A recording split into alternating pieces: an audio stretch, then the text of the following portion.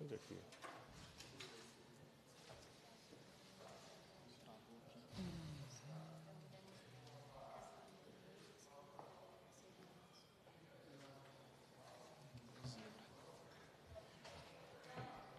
Presidência, nos termos do parágrafo 1 do artigo 132 do Regimento Interno, dispensa a leitura da ata da reunião anterior, considera aprovada e solicita sua substituição. Finalidade da reunião, essa reunião se destina a apreciar a matéria constante na pauta, receber, discutir e votar proposições da comissão.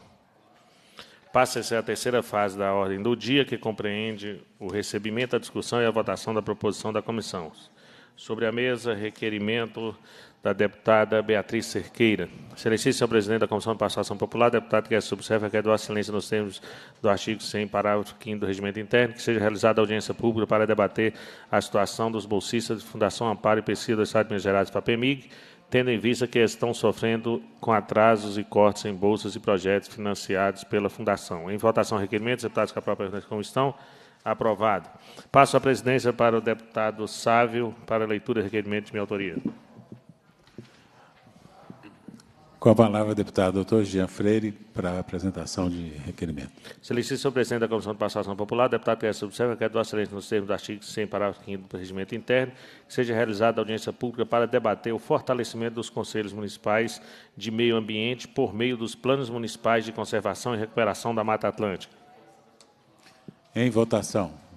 Deputados forem favoráveis, permaneçam como se encontram. Aprovado.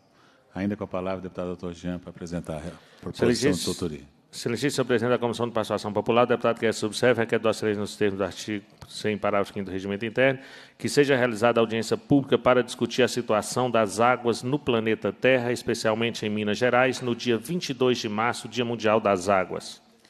Em votação, os deputados forem favoráveis, permaneçam como se encontram. Aprovada a proposição.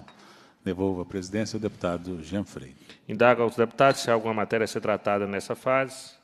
Não, senhor. A presidência, cumprida a finalidade da reunião, a presidência agradece a presença dos parlamentares, convoca os membros para a próxima reunião ordinária, determinando a